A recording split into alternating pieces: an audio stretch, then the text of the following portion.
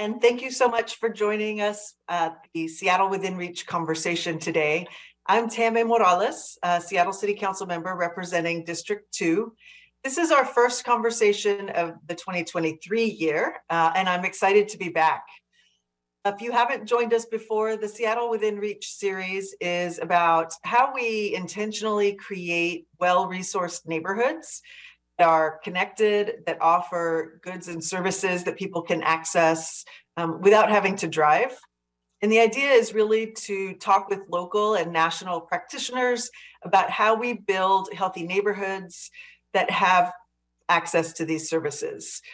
Um, Throughout the series, we're focusing on particular topics. So if there's something you'd like to learn more about, you can drop us a line. Uh, in the past, we've covered issues like the comprehensive planning process itself, um, social housing, mobility issues. Today, we're going to be talking about climate justice. So uh, we know that climate change is having a dramatic impact on people across the globe. Here in Washington, we're experiencing things that really didn't happen 20 years ago, even. Uh, we've got extreme heat events every summer. We have annual wildfires that fill the skies with smoke. Know that there are dramatic changes happening.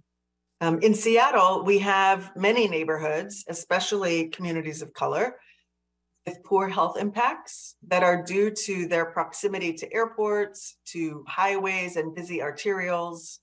Um, neighbors in the Georgetown area, for example, an area that's sort of in the midst of an industrial center, have an average lifespan that's 13 years shorter than folks in Laurelhurst, which is a relatively wealthier neighborhood.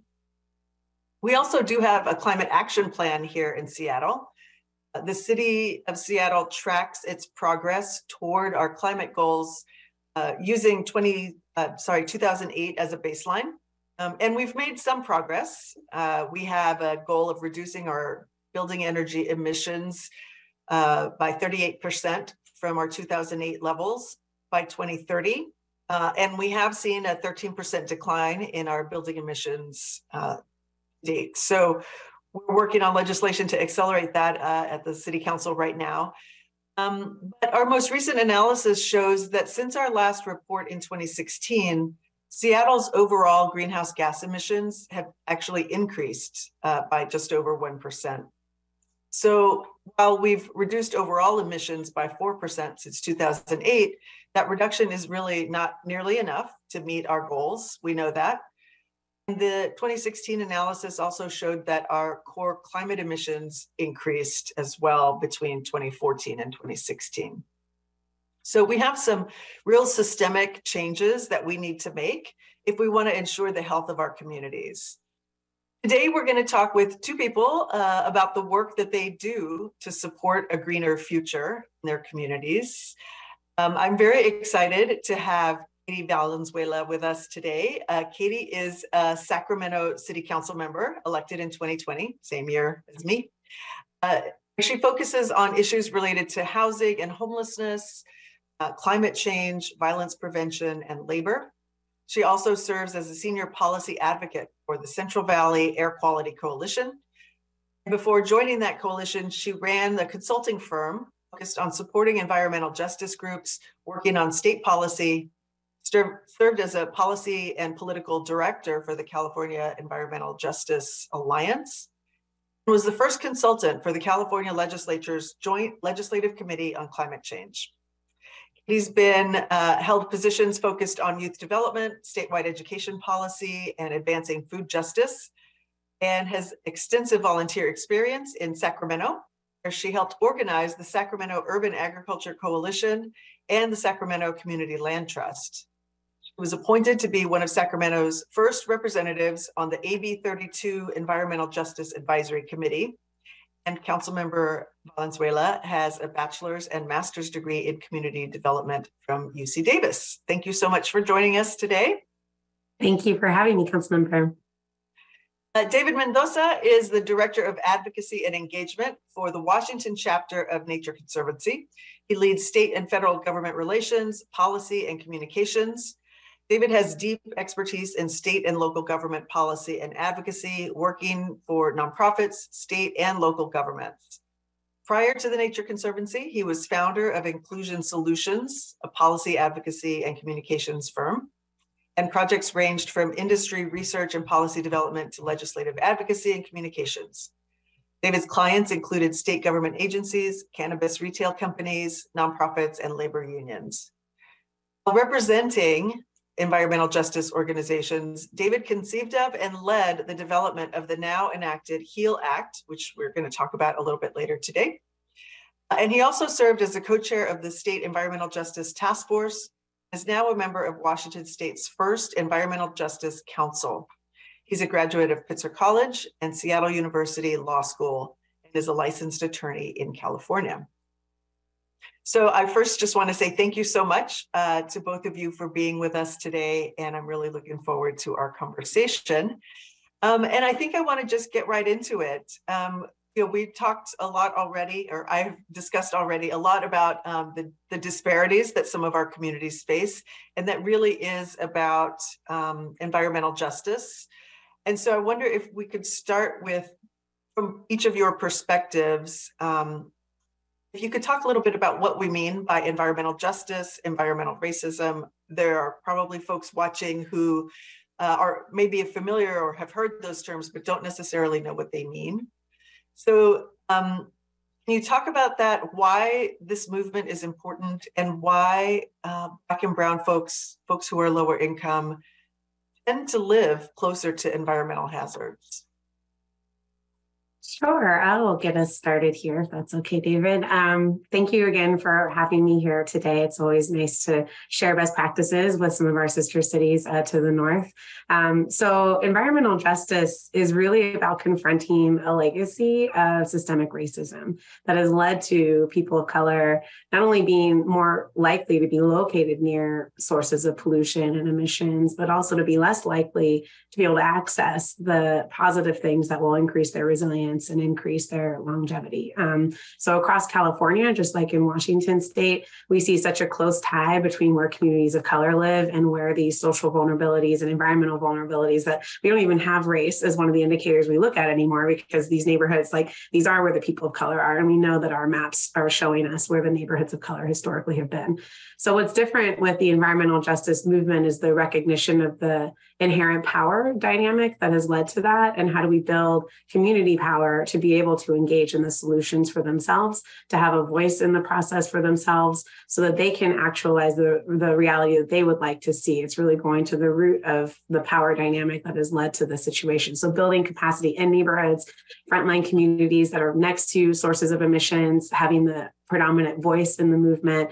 And there is a whole set of principles that the movement adopted back in the 90s called the Jemez principles um, that really outlines the, the guidance of how we make decisions and how we center community voices in everything that we do. Um, so that is something that I use to distinguish environmental justice from, from other similar movements is that it's about confronting those land use trends um, and those inequities and investments, but it's really about building community power in that process. That's a great yeah, no, that's that's a great um, definition of what, what this movement is and how it seeks to include um, overburdened communities in in the governing process. And I think one of the things that you know with the Environmental Justice Task Force, which we are part of, was how do we help define what environmental justice is for those government bodies to kind of do that process. And so in Washington State, you know, we had a the, the Environmental Justice Task Force was a combination of agency staff and community leaders who spent a little over a year engaging on these issues. How can government be better? How do we actually turn the tide and in these institutions towards embracing the concept of environmental justice, not just as a side mission, but a, a core part of their work. One of the things we we would look to that how other governments and California is so far ahead in a lot of this work. But I think we also looked at kind of the requirements some of our agencies had from the federal government. And one thing the federal government has had in place since the 90s was an executive order um, uh, signed by President Clinton that actually created a definition of environmental justice. And we think it was a good starting point. You know, one of the key aspects of that definition is about the fair treatment and meaningful involvement of all people, regardless of race, color, national origin.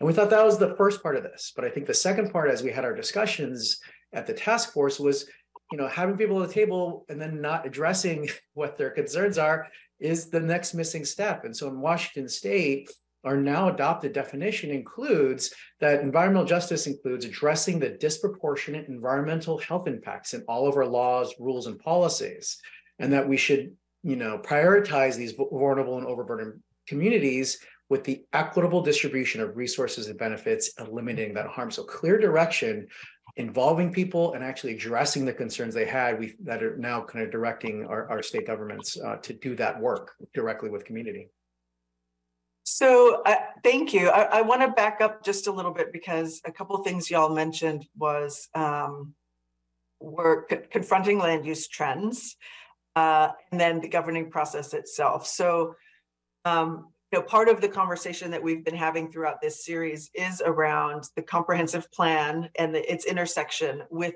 uh, with all these different elements. So when we're talking about climate justice um, and we're talking about land use, uh, you know, what that typically means is that communities of color are in near highways, near airports, near industrial zones. Um, can you talk just a little bit about sort of the history of what led us there and what some steps might be. If we can't really move communities away from a highway that is now built, how do we mitigate that? And how do we start to address, as you were saying, David, the real impacts that that has on, on health? Yeah, I'd say, you know, the, the history of why, you know, certain industries um, are in communities of color and, and, located there is the history of redlining and racial covenants in our country.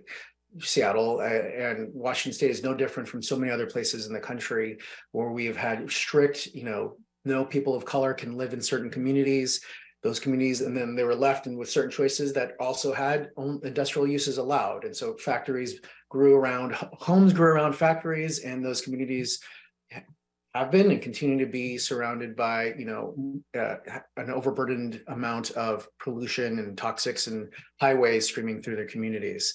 Um, and so that's kind of the root of those issues. And I think the thing, ways to address changes moving forward in terms, in terms of land use, especially, where we're starting to get there. I think lots of like ways, I think cities like Seattle have tried to address the concerns within the current bounds of land use laws, the Growth Management Act, which guides the planning nature for the how cities plan for growth and expansion and um, is a key tool in that fight. And, you know, we've at the legislature have for almost 12 years been trying to add the concern of climate change and resiliency to our growth management act to require local jurisdictions like cities and counties to make that plan to adjust for uh, the concerns that are being raised uh, for by um, climate change, how to make our cities not just carbon neutral, but how do we plan for the impacts of fire, drought, heat waves in communities as well to protect our people, to build the infrastructure that's needed?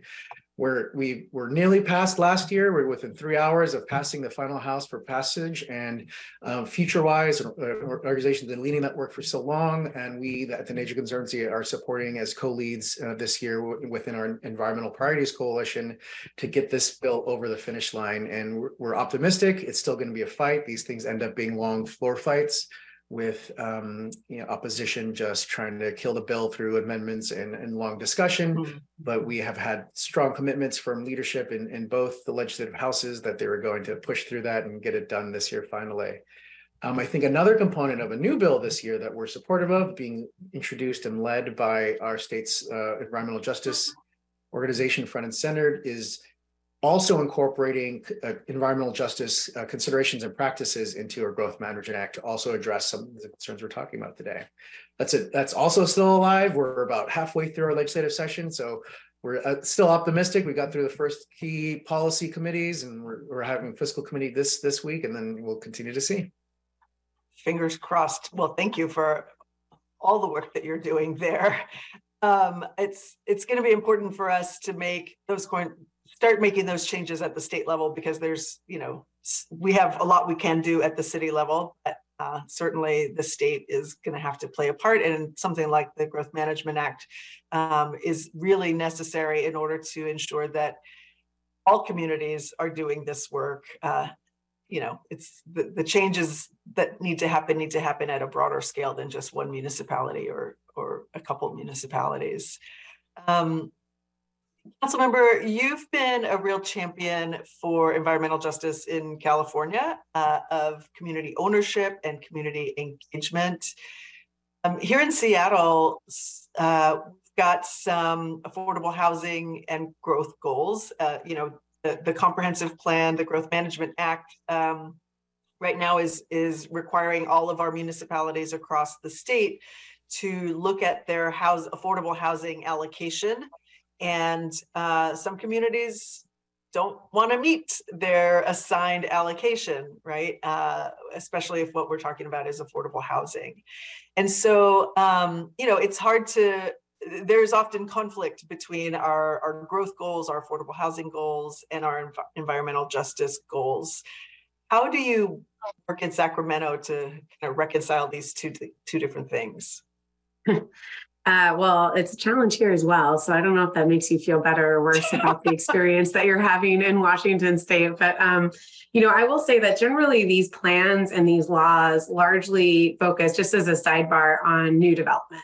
And, and I think the, the question of how we proactively intervene in communities that are already built, like you said, we're not going to tell a whole neighborhood that now you have to move across town or we're going to bulldoze all of your homes and make them more dense. Like there's a real challenge and government doesn't, and planners, a lot of planners, like my uncle was a planner for his whole career in Kern County, like they learn on the job and, and they learn to do, so these cycles reinforce themselves. You know, you have an industrial use and they say, well, let's, it's okay if there's an industrial use over there because there's already an industrial use there, but it's not okay if it's over over here because there is an industrial use. So you start to see how these patterns replicate. And so there are a lot of best practices in how you intervene in those patterns. They don't change overnight, but things like amortization ordinances, where whenever a facility is seeking to expand or change ownership, that they can't, you know, that's something that you can control at the local level to say, not only are we going to start restricting what you can do at your current site, we're going to identify the site on the, in a different part of town where you aren't next to people's homes. And then we're going to give you incentives to try to locate out at that facility. So while you're growing,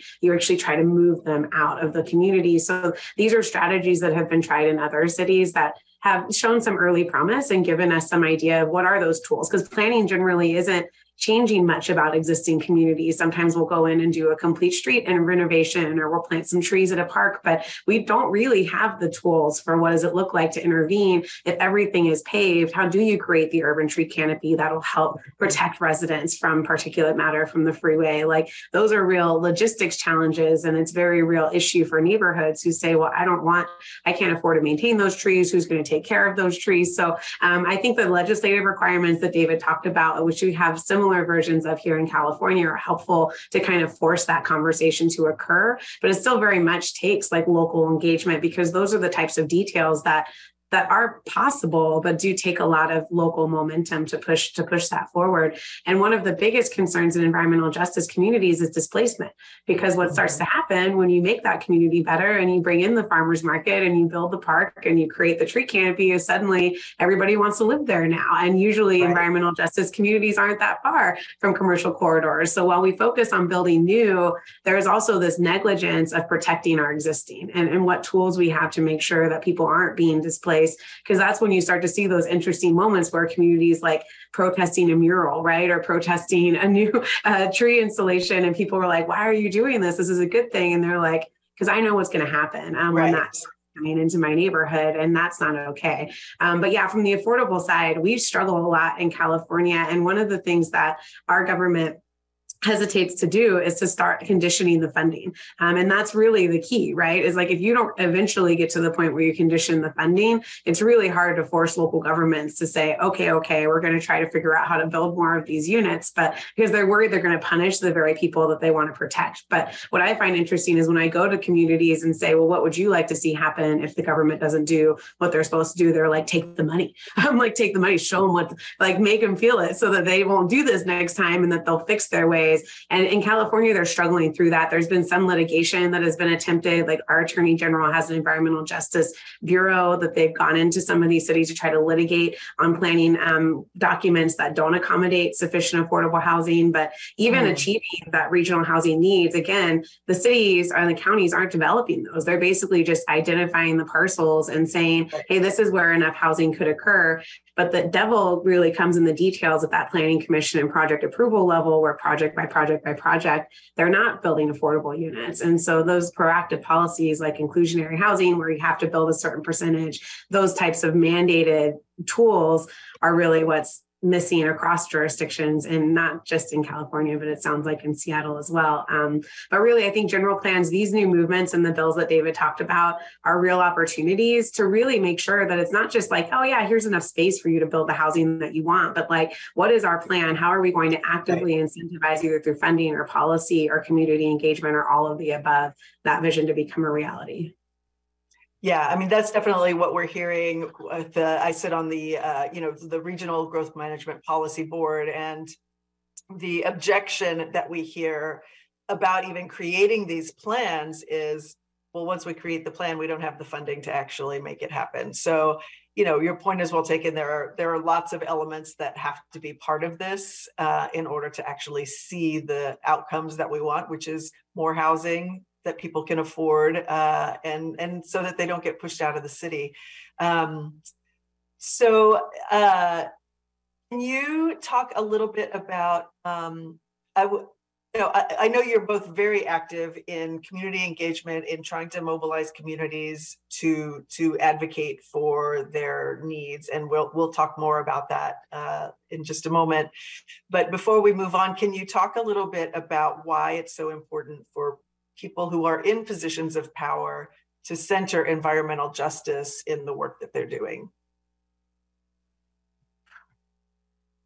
Well, um, you know, the um, Angela Glover Blackwell had this paper or this term that I think she coined called the curb cut effect, right? And the whole concept was that when you make a curb cut in the sidewalk, if for someone who might have limited mobility, you're also helping the parent with the stroller, you're helping the delivery person with the cart. You know, you're helping everybody because you've designed something that's meant to meet the needs of the most vulnerable among us. Um, and that's sort of a general tenet of, of environmental justice it's it's harder it's always going to be harder and more expensive to reach those communities it's always going to be harder and more expensive to do the things that they need but when you do those things first now you've made it easy for everybody else to get what they need right? You know when you take the when you make that work happen. And so and the only way to really know that is to ask them, you know, is to really talk through. Like we're working through building decarbonization efforts here in California, and there's this coalition that I help facilitate. And there are barriers that we are encountering in some unincorporated communities that we didn't even know existed.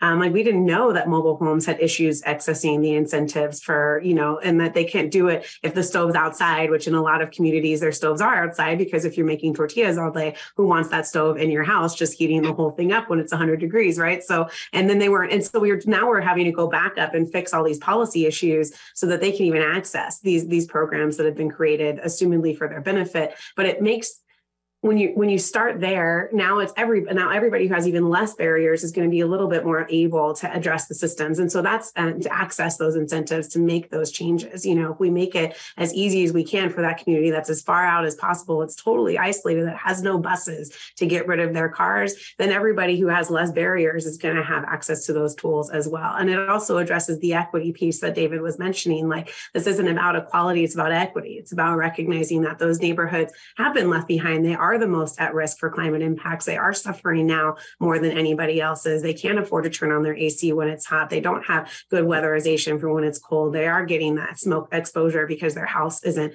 appropriately weatherized. And so they deserve to be served first, just from a policy and just a rationale, like just a justice perspective. Um, but, you know, in the end, doing that will make your dollars it may seem like it's taking longer, but then you're going to do the work deeper, right? We say go fast, like go fast to go alone, go slow to go together, right? And so mm-hmm. by really centering environmental justice in your decision making, you're going to have a bigger impact. Your money is going to have a much broader implication for more people because you're focused on the people who are going to have the most obstacles to getting there.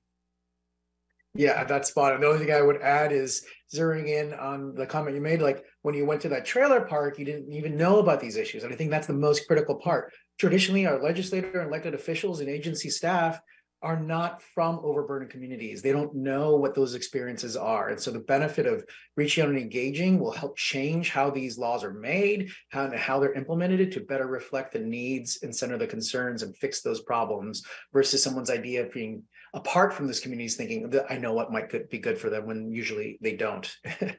Yeah. My favorite Absolutely. example is Sacramento County was making a climate action plan, and I'm going to pick on them because I don't represent the county, I represent the city. And um, they were doing this plan, and they we were pushing them to do more outreach, and they're like, "We don't need to do more outreach. We know what we know what we need to do to get the climate action plan right." And so I finally forced them by going through one of the supervisors to do a workshop in this unincorporated community that's mostly immigrants next to this huge distribution facility, and their plan for addressing transit gaps not even kidding you, was Lyft and Uber, right? Like, well, why don't you just use rideshare, right? And all these residents just kind of looked at them and it's like, they don't have credit cards, right? Like they don't have, they're like, like, I can't do that. And it was such an interesting moment to watch these planners go, oh, you know, or like a different, I did a workshop and it was Mandarin, uh, Spanish and English for our environmental justice element. And this elder in Mandarin was like, Well, I never take the bus. And we're like, Well, why not? There's a bus line right there. It takes you to all these places. And he's like, Well, the stops are only announced in English. So I'm worried I'm going to miss my stop and not know where I am. So I just don't take the bus. And I'm like, like literally all the years of transit planning, nobody had thought to say, let's pre-record these stops in multiple languages so more people will take the bus. Like these very obvious things that seem obvious mm-hmm. when you work in these communities that, as David mentioned, someone who's working and learning best practices from other jurisdictions might not know. And it doesn't mean that they don't aren't intelligent. It's just how do you really know how this works until you go out into that community and they say, yeah, no, I don't use that crosswalk because it's around a blind corner and those cars are going really fast. So I just go up the street and don't use the crosswalk because it's safer. I feel safer there. You know, how hard would it have been for us to ask those folks and just put the crosswalk where they needed is another story. Right. But Right. Well, and that's that is key, right? Because if we've got all these folks who uh, the the district that I represent is similar. You know, folks speak dozens of different languages here, and um, you know, the, it's really hard to understand what it takes to be able to do these engagement processes in languages in a culturally appropriate way and make sure that you're collecting information from folks that is going to be meaningful to the work that that you know our departments and our agencies have to do um, and do it well so that we don't have to come back later and say oh we didn't even consider that people might not have credit cards or might not understand the stops being announced. So yeah i do think it's really important that we um, we are listening deeply and really close to the ground so that the work that we do and the money that we invest is actually going to have the outcomes that we're hoping for it to have. Um, so I want to I want to ask, um, you know, uh, council member, you California really leads the country's transition to a greener economy. We all we all look to what you're doing there to help us figure out how we uh, what next steps we should be taking. Can you talk a little bit about um, how we ensure that that there is a just transition that's supporting workers? Um, you know, I really want to think about what are the actual tools that we can use to start to get us to a more resilient economy, more resilient communities. Um, I'll just give one example here in in Seattle. We recently um, included money in our uh, Parks District budget to help start creating community resilience hubs. So the idea is to use these community centers as sort of a pilot for green retrofitting. So how do we, um, you know, how do we add solar? How do we add heat pumps? How do we um, make sure that these facilities are places that could be used as heating, uh, as cooling centers in the event of extreme heat or as a safe space in the event of one of our wildfire seasons, which we really seem to have a season now. Um, and you know we want to make sure that as a city we are using whatever resources and tools we have at least begin step in that direction and start to reduce our own emissions um, we also want to make sure that people of color are included in those decisions and we want to make sure that they're included in the work that could potentially uh, or that will be coming as a result of these changes that we're making. Can you talk a little bit about how you're handling that in California? Yeah, it's um, you know, everybody. I I never know what to say when someone says California is a leader in this because like we are and we aren't, right? Like we have done yeah. more than anybody else does. So I want to recognize credit where credit's due. But a lot of what California has just done is created ways for industry to pay money to avoid reducing pollution. And so there's a whole bunch of stuff that we do in California that I hope nobody ever replicates. And um, David knows about this, and I could talk on and on about my concerns with some of the systems we've created and what that means for our communities. But I will say that the large source of our emissions reductions have come from the energy sector. So our clean power, renewable portfolio standard. And then a lot of what we're talking about now, and the reason I brought up buildings is because it really is such a fascinating opportunity to do exactly what you're talking about, right? It's like, how do we get to the heart of where people live and make them more resilient, not just get gas appliances out, but actually address their energy burden, their weatherization, their um, air filtration systems so that they are ready and able to do what they need to do to be able to manage manage what's coming in terms of changes. Um, and that is probably the best opportunity. And one of the things we've, um, a report we just put out a few months ago that we're talking through with our state agencies is how do we make that a public works project? A lot of building decarbonization efforts are very much low hanging fruit. You know, here's your incentive, here's your rebate, but we're leaving behind people who can access those programs but also, in some cases, changing out a stove or changing out an appliance might not actually make your energy bill go down. It might actually make it go up. And so, how, and you're not really addressing the full depth and breadth of what that household needs. So, one of the ideas that has been bantied about when it comes to targeted decarbonization, right? If we went into a neighborhood um, that was underserved, an EJ neighborhood, and we made it a public works project and we upgraded your electrical and we upgraded your water systems and we weatherized your houses, how can we, that would both make best use of our dollars. It would create the job pipeline for the trades, right? To be able to do the apprenticeship work. And it would make sure that that whole neighborhood gets what they need in a way that doesn't put them at further risk of either higher energy bills or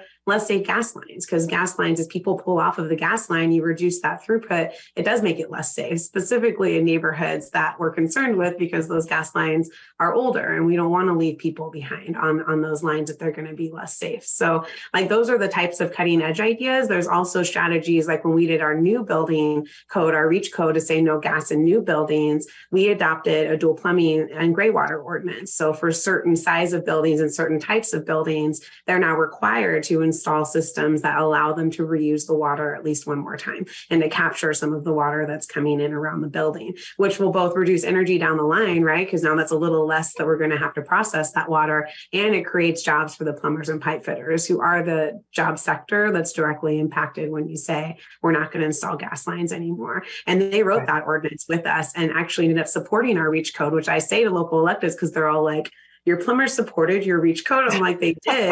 and they did it because we had a strategy that based on their numbers and how many buildings of that size we build, they knew would be a comparable amount of work, if not more work for them down the line. So those are the types of intentional strategies that, you know, for a lot of things, I think if we really centered air pollution, if we centered cost on, on low income homes, if we centered resiliency, we'd be designing programs much differently because that would be, we'd be looking for those strategic intersections to say, oh, okay, that makes the most sense. It's going to create the jobs, it's going to increase the resiliency, and it's going to reduce emissions overall. So that's kind of where we're at in California. But it is an evolving target because it's hard to say to folks now in some communities like where I'm from in Kern County, which is some of the largest oil fields in the state of California, um, they're not really seeing those benefits yet. You know, what they're seeing are layoffs and they're seeing impacts and they're not sure what to do and what their future holds. And that's when I talk about being really aggressive about the where. So, like we did high speed rail in California, very controversial, but we did it.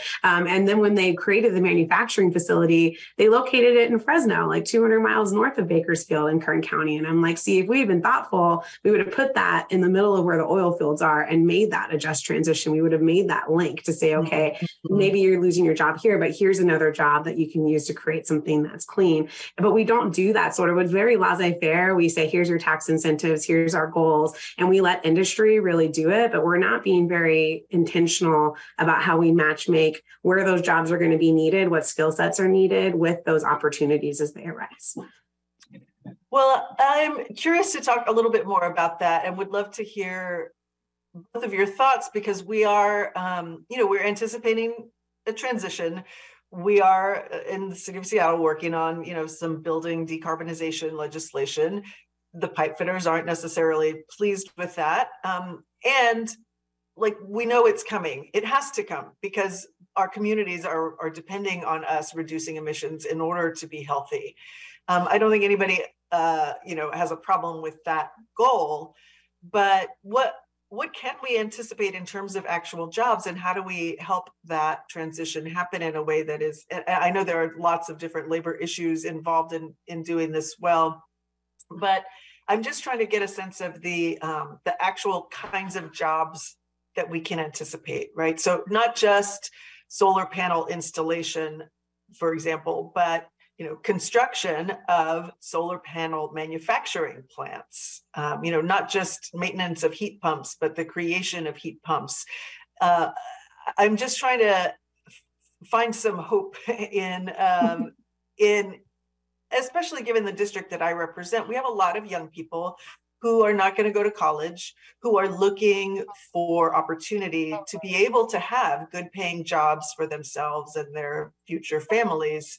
Um, and there needs to be, uh, you know, a, a, hopeful connection to to a possibility of a, a whole new sector uh, or multiple new sectors of of potential jobs for them. So, yeah, I would love to hear a little bit about that from you.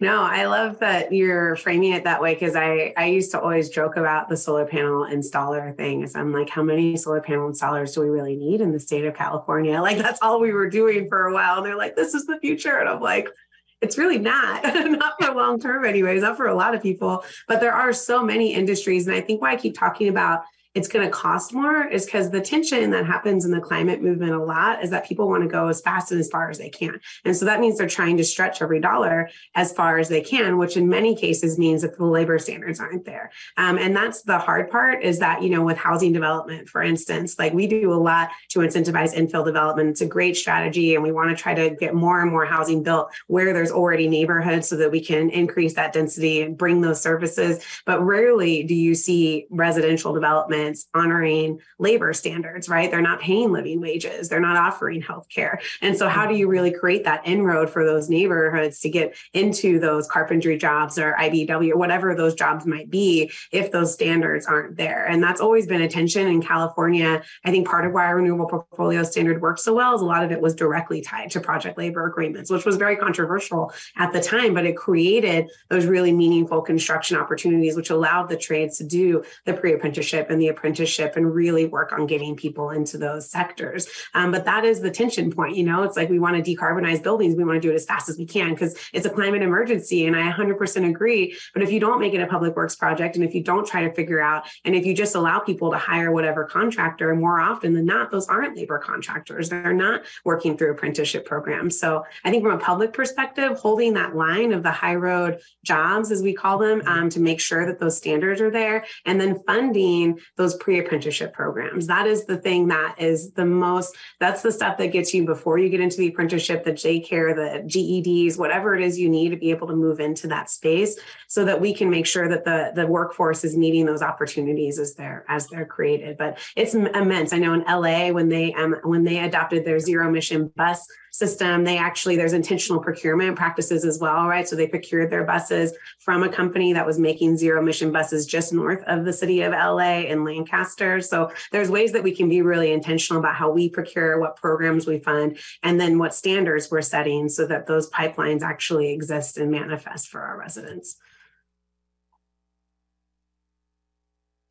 Yeah, that, that's I've been impressed by a couple of things you mentioned in the last few minutes, council member as well as just this public works designation. That seems like a really innovative way. And like one of the yeah. one of the issues we're facing here in Washington State is we have this state constitutional um, prohibition against you know providing public money for private benefit and that can be interpreted very narrowly right in terms of these projects. And so you know especially i think that one of the the, the issues that we're facing is how do we get these multifamily units kind of upgraded to the extent you're saying? Because it could look like pure benefit for a landlord who can then raise rents and move them move folks out. So like this public benefit this this kind of public works designation i might be following up with you online offline to talk i was I, I made a note of it myself. Yeah. Um but you know you know, unsurprising, I think we're a little, a little bit behind California in some of these things. But I think one of the things that we are trying to do, the, the, the, conversation mm-hmm. on workforce development is bubbling up, not just, I think, in the technical aspect of, you know, what what unions have done traditionally versus what they haven't done and i think that's just a harder conversation i think it connotates a need for to organize in some ways to, to build that new membership and that's that's hard. It's not easy in our in our country. It's not made it easy to unionize new members. And so that is uh, that is a barrier from them being able to see like it's not something you just can't tell them go organize because it's not going to actually result in benefits for their current members.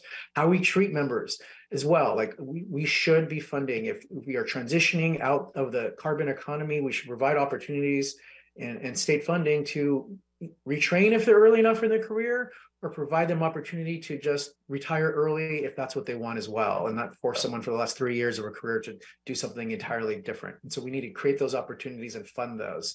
I think another aspect that's preventing some of this work too is lots of these uh, especially in the construction trades are off hours and it's hard for folks to even find childcare. And so i know our state uh, construction trades are sponsoring a bill for for helping build that kind of alternate work hours childcare moments because if you're a working parent like how are you even going to work in a night shift or whatever it is to to get there and support your family if you don't have that kind of service even available anywhere near you? Yeah. Those are critical like underpinning things. I think the other aspect and more to the nature conservancy side of of, of my life is the natural resources development uh, and uh, and career paths there have been a variety of ways to get into short-term kind of jobs, but there's not a good career path if you want to be, you know, eventually be a forester or, or you know, a, a firefighter in, in, in, the in the in, after fighting forest fires, or maintaining our urban forests, creating green stormwater infrastructure. How do we create career paths, under, identify the skills needed, get folks into those opportunities, and then build careers from there? The thing that I think is lacking in these conversations right now is coordination I hear city council members talking about it. I hear county council members talking about it. I hear legislators talking about it. I hear Congress people talking about it, and no one's talking together at this time. And so, how can we have a regional conversation amongst all these levels of, of government who have a piece of the puzzle mm-hmm. and try to knit these things together in a real comprehensive way? And so, I think that's one of you know one of our goals as as, as company that tends to operate all these different layers we've been in the midst of our own strategic planning and this workforce development has really emerged kind of a naturally through our different conversations. Yeah. where there's pieces here to do and work on and develop? Yeah i mean that's definitely something that we've been talking about uh, at the city. You know we, we had um, legislative request to our across departments to take a look at the way the city is um, engaging in workforce development work, um, whether it's through our utilities departments or our human services departments. And um, I think what we're finding is that we've got our fingers in a lot of different pots, but we don't have an overarching strategy and have not been partnering as well with our regional workforce development council. Um, and and so we're spending a lot of money and not necessarily having uh, you know sort of net benefit for community members that we could have. So um, that's definitely something that is um, you know a place where i'm very interested in making sure that we're moving in the right direction in a strategic direction and connecting uh, potential climate work uh, and climate goals to those workforce development opportunities. Um, yeah, and engaging your unions on this, right? I mean, because I think so many of them, you know, we're talking to some of our trades in particular right now because their apprenticeship programs are long and they're hard. And it's one of those things that they're recognizing we're a we're not reaching the population we want to reach and not enough people are finishing. Like they see their own self benefit and we need more people to finish these apprenticeships. So they're actually work we're working with them to create shorter apprenticeships right? Like sort of introductory it's like with the iron workers today in sacramento they're talking about creating a one to two week out of a four week program to say okay well let's see maybe you just get one or two certifications but if you make it through that we can get you on a job site and then we can keep working with you you know? So the the right. unions can be such great partners. And as you mentioned with the childcare effort david it's like they they understand what the what these barriers are and they want to help but yeah similar to you again i make sure you don't feel alone. We have the same problem in sacramento where it's like wait we just spent how much money on workforce stuff? And like I, am not seeing the impact especially in the parts of my district that really need access to those services. So we're still missing missing the mark but moving in one direction and that regional idea is my turn to save some steal something from you, David. I'm going to steal that because our utilities make an investment, the state makes investment, the cities and counties are making investment, and none of us are doing it in a way that has a coordinated, hey, we all want to install more EV charging. So why aren't we doing it together? And why aren't we making it the type of public works project where real job benefits could be coming through? Like, it's just silly. And I think especially in this moment, we have so much federal money coming down. We have an opportunity, a lot of state funding, and all these investments just can build on each other if we have that coordination. And it and it's not, definitely not happening for all the conversations I've had. So we have a limited yeah, time to absolutely. figure this out. It, there's an opportunity here, and and uh, you know, it's conversations like this that I hope help us prepare and be ready when those opportunities come down, so that we um, are able to take advantage and really be able to deliver for community members. Um, but I wanted to back up really quickly. Um, you mentioned earlier the work that you're doing on the Growth Management Act and trying to include, um, you know, or the legislature having this debate about including climate goals and climate uh, environmental justice goals into the Growth Management Act. Can you talk a little bit about what that would mean for uh, urban growth strategies? Um, so that's one of the things that we're talking about a lot in Seattle as we're having the discussion about our comprehensive plan update is, um, you know, the, the urban growth strategy that we have been operating on since the mid 90s is this sort of transit oriented development, you know, corridor uh, uh, is where we where we focus our growth.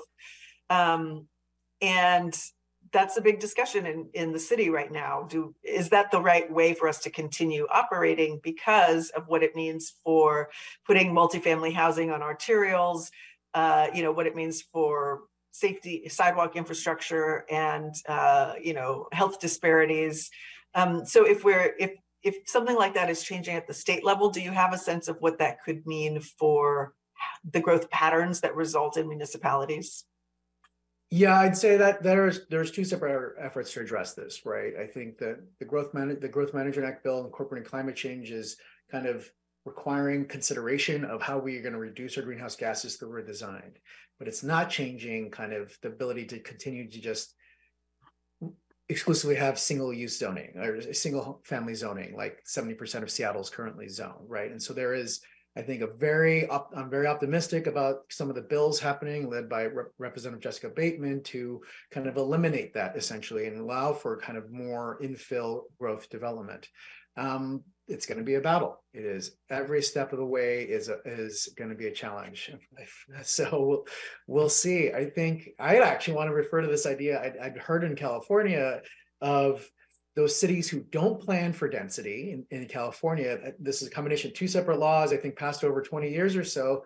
It just happened in the last couple of years. Those cities that didn't plan for density automatically lost all their zoning and you could build any kind of level of density in a, in a community. And it's happened in some cities. I think Santa Monica, for instance, what I don't know is like, it was that just market rate or did it encourage like low income? And so like, it's just a powerful tool. Don't plan for density, we'll force it on you kind of thing. I don't think it's not how Washington tends to operate, but I, I, love, I love it. Uh, how has this played out so far in California?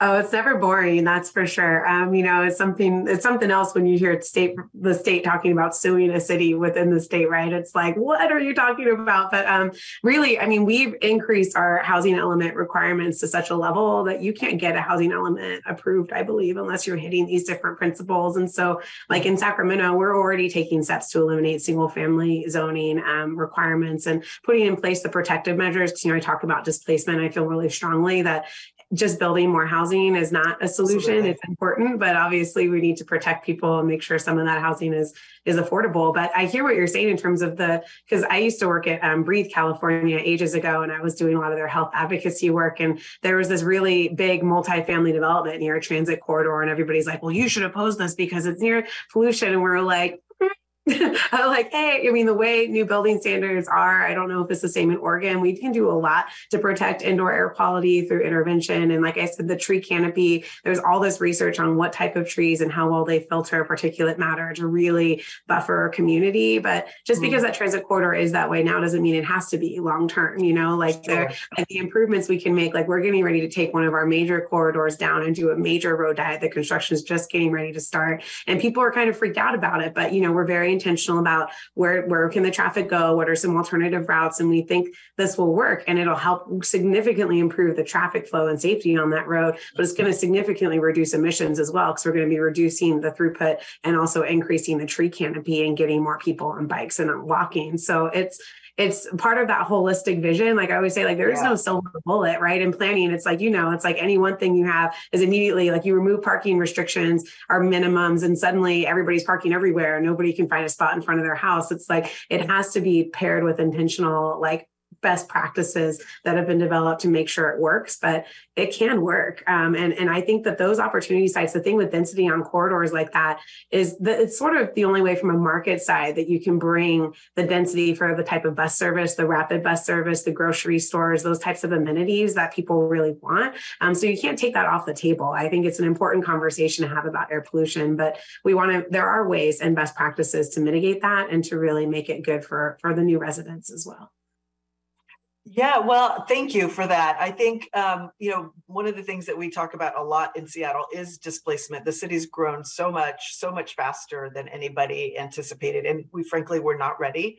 Um, and so we're we're trying to play catch up in building new housing, and uh, particularly in the district that I represent, there is a, a very palpable fear of gentrification because of the displacement that's happened already in the city over the last 15 years or so. You know, the the parts of town where there it used to be 80% black are you know 10 20% now. So it's real and um, and it has definitely created this this fear of any change uh, because of the impacts that it has on folks. And so um, know how do we mitigate? What are as we're as we're contemplating whether it's zoning changes or just new development how do we mitigate and make sure that folks who have benefited from the prosperity in the city folks who have uh, or, or, sorry uh, that folks can benefit from the prosperity in the city from the investments in their neighborhood um, and and don't have to fear getting pushed out because of those investments. Um, I really think that it is important that policy makers engage deeply with community, as I know both of you have done. Um, so I want to talk about why that is. You know, how do we make sure that we're centering communities of color in this work? Um, how are we repairing the harm that's been done to communities of color? Um, we know that local government has a direct role to play in how our neighbors experience their you know everyday quality of life um, and we that everybody deserves to have that nice quality of life um, regardless of what what part of town they live in. Um, so uh, david i wonder if you could talk a little bit about you know you you have led one of the largest uh, people of color efforts at the state level with the HEAL Act the healthy environment for all act that passed in the legislature last year um, it's the first statewide law to create a coordinated collaborative approach to environmental justice. And I wonder if you could just talk a little bit about how that coalition, how those folks came together, um, you know, how it was created and just some of the lessons that you learned about about how the how the rest of us might be able to build on that success that you, yeah. that you created. Happy to. The, the inspiration uh, for the HEAL Act came from um, the work that uh, Front and Centered uh, Department, our State Department of Health, the University of Washington, and our Clean Air Agency had done to create uh, what's now called the Environmental Health Disparities Map. Unsurprisingly, based off prior work from California, the CalEnviroScreen of how can we identify um, a range overburdened communities in a very map in a mapping protocol that really drills down as low as the census tract level so you can have a comprehensive picture of what kind of toxic pollution are they facing what's the other kind of difficulties in terms of rent burden or a, a, lack of education in communities? So you have a full picture of a community that help you identify how to best kind of address concerns. So that map was nearing finalization. I me and, and my partner tiffany mendoza were both consulting at the time and i started being bombarded with all these agencies asking like oh how do we talk about environmental justice? What do we do? Tell us guide us please. And it was just like we're one organization. We can't. And so together we like thought of this the concept that eventually became the HEAL Act that was essentially instead of having one organization be this gatekeeper to what environmental justice was we should create a community led process have a body that ended up being the Environmental Justice Task Force that had community leaders and state agency important like leaders in the state agencies, not you know a low level employee, but someone who is an influencer and decision maker, spend a year understanding environmental justice and then to make recommendations of how to actually incorporate that. And the key behind that was not just to have guidance, but to make requirements and how agencies operate. I think that from my own experience working in government and some of how, how folks really do take their agency mission seriously. Not so it's not so how do we embed that into a, a agency's missions and vision of how to do the work and make it a requirement. And I think that's the key here. It's not just an add-on, it's just not a separate thing, but it, they are required to do certain things now in Washington state. And so uh, the, the, community engagement is at the top of that list. If they need to engage community engagement, they have to do uh, community engagement for a variety of things. The most powerful tool that is in the HEAL Act, I, I think, though, is then what we call now an environmental justice assessment. So for every, uh, there's for significant agency action, and that's been a big drama, what how you define that. But some examples of how that's is uh, agency request legislation development um, capital projects over $10 million, transportation projects over $50 million. Hmm. early stages, you have to do an environmental justice assessment that its goal and purpose is to understand what, what's going on in the community that you're going to have this project in, maximize the benefits of this project and minimize the potential harm. Um, and then move forward from that. And it's not, not a one-time analysis as, as, we're designing it. And we're still in, in these aren't going to be required by agencies to do until this coming July. So we're still very much in the early, like, unfortunately, it's still in the early phase of figuring this out. Um, but the hope is that this is a, a continuous engagement loop of as we're moving forward and we've heard this is going to be designed this way the community didn't like it we've shifted it and then go back to the community say this is now meeting the needs and have that conversation be ongoing and so I think that's going to be probably the most powerful tool to, to kind of move forward. I think other kind of aspects of the HEAL Act include like it, changing these agencies' missions, putting making environmental justice part of the strategic planning processes. So mm-hmm. those are the longer term kind of changes of changing uh, government culture. Um, and you know, it's not going to be a quick journey, but I think it's going to be an important one. Um, as, a, I wish I could rephrase phrase exactly how you said you could do a quick alone or, or successful together. So to that extent, that's exactly what this is. And and I under you know it. So it what's hard about the HEAL Act in explaining it's not going to individually solve some of the, the, the burdens that we see and the problems we have in this community, but it's creating the framework in which hopefully we can get there. Um, and you know, overseeing all of this work and uh, hopefully in a partnerships phase that we're still kind of figuring out is the Environmental Justice Council, which I am a member of.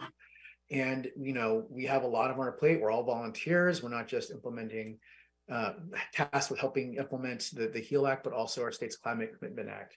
And it's a lot on the plate for a volunteer body to do. But, you know, there's a mm-hmm. whole range of leaders. That's community leaders, tribal leaders, um, business, uh, one business, one labor, uh, all kind of at this table trying to figure figure out the best way to do this. And so I'm hopeful um, that we're going to get there, but we're we're still early days for sure. Uh, it was a huge, a huge lift, clearly, uh, and successfully done. So uh, the implementation is a separate piece, surely, but um, but just getting to this point was was huge. So thank you for all of that work that you did. Um, Councilmember Valenzuela, I think uh, we probably have time for one more question, and I would love to ask you, given the the central role for you of community engagement, making sure that you're hearing from community voices, um, how do we move forward with development uh, from a community-based perspective? How do we make sure that those voices are there and that the decisions that we're making about what to put forward as policymakers, as you know, budget uh, decision makers, um, is really centered in that community perspective? You know, I um, always tell people that you aren't expected to know how to talk to everybody. You know, like that Mandarin speaking elder I referenced before. I don't, I don't never worked with Mandarin community speaking community directly. So I, you go through people who have those relationships, right, and properly resourcing those organizations and those community groups so that they can help get to people um, is is really key because those relationships are hard to replicate, and that's really how you start to build trust is working and you build accountability for yourself there as well because now you're working with the group who helped you reach their community. And now they're going to be at that table expecting that you're going to follow through on the things that you told them that you would do. So it's, um, you know, we're huge proponents. And in California, we've been making a big push on our state organizations and our local governments to fund community outreach through the community groups. Don't yeah. just try to do a webinar somewhere and think you're going to reach everybody, right? And you know that because right. you're elected, you go canvas, you go do things. It's like, let me talk to some people for you. Don't come out here and try to do it all yourself. But um, I do want to speak though to the point you were raising about just displacement. I think that um, what we know now uh, about doing environmental justice work is that housing protections have to come first. They absolutely have to come first. There is no way around it. And the hard part is that a lot of the agencies that do climate work don't do housing work. You know, like right now we're fighting with our air resources board because they're trying to do this appliance standard, which we're resisting because there aren't, there's a huge hole in our tenant protections that allows for people to potentially be evicted for major renovations, right? And and so we're trying to tell them you can't do this until we can get these tenant protections in place. And they say, well, that's not our job, right? So mm-hmm. I think especially at the mm-hmm. local level, at the city council level, we have such a role to play to ensure that we're pulling these tools in from other jurisdictions. And what we've learned so much from our friends in the East Bay and the Oakland area, because a lot of the wave that we see in Sacramento is coming from the Bay, people being displaced uh, from Oakland and other mm-hmm. cities, but they have such an intricate web of community land trusts and public banks and funding mechanisms and ballot measures they put in place to try to protect, to ensure that people can stay there. But that has to be coupled with policies, you know, around uh, repairs for people whose homes have code issues and stronger tenant protections and first time home buyer assistance programs, like the sort of stuff that we know really ensures that communities can stay in place and really pull down some of those best practices like land trust, which allow people to maintain ownership of their home. It just makes it so you're not going to build 500% equity. You know, you're still going to, you're going to agree right. on a reasonable and in a lot of neighborhoods that I've organized in, they they welcome that because they understand what's happening. But I think that it's it's our duty to a degree as local electeds and as policy folks who see that to know that really anything you do in an environmental justice community runs this very very strong risk of displacement, and that we have to start with those protections and making sure we have a plan, and not just with the big projects because this can also happen really incrementally. But for the big projects, those community benefits agreements, we just fought. We had multiple litigations over a huge project in one of our neighborhoods that UC Davis was doing. And pop, pop, pop, pop, pop. And through the litigation, finally secured like $5 million to go out and do some emergency repairs and make sure that people would be able to, to stay in place. But it's a drop in the bucket compared to the impact we know it will have. So I'm going to research the HEAL Act. Um, David, thanks for doing that because I think better benchmarking is something we need to do, but it can also happen super, super gradually and through little baby projects. And one day, all of a sudden, you look at a neighborhood, like you said, and say, oh my gosh, everybody's gone. Everybody thought we thought we'd benefit from this scattered around the city and the county. So um, that has to be first and foremost. And, and it's become a little bit of a broken record for me where I'm like, you know, our first priority, if we're really going to say, and I said it earlier, is to keep people housed and to keep power on, right? Um, and after that, it's all gravy. but like, like if we keep those two things central, it sounds a little simple, but honestly, that has to be the central tenets of our climate work. Otherwise, we are running the risk of further exacerbating some very real harm. Absolutely. Well, I think uh, we, I would love to um, connect with you both after this. There's a lot of cross pollination happening here. I think uh, we can also include some of the work that you're doing as resources on our website um, because I think uh, folks throughout the city would be really eager to learn more about the work that you're doing. So um, I want to say thank you to both of you so much uh, for sharing your work and sharing your perspective and your energy about um, all that it's really going to take for us to make sure that communities of color are protected, but also that we are just um, doing what we can, everything we can to make sure that we are um, preparing for climate change and ensuring that our communities can be resilient and can remain healthy uh, as those changes come. Um, so, Councilmember Valenzuela, thank you for joining us from San Francisco, from uh, Sacramento. David, thank you for joining us from far off in Tacoma. Um, uh, we are planning uh, in the planning stage for the, the rest of the year, uh, the 2023 series of Seattle Within Reach. Um, so uh, for folks who are watching, if you've got suggestions, if you have comments or questions, you can send those to Evelyn Chow on my staff.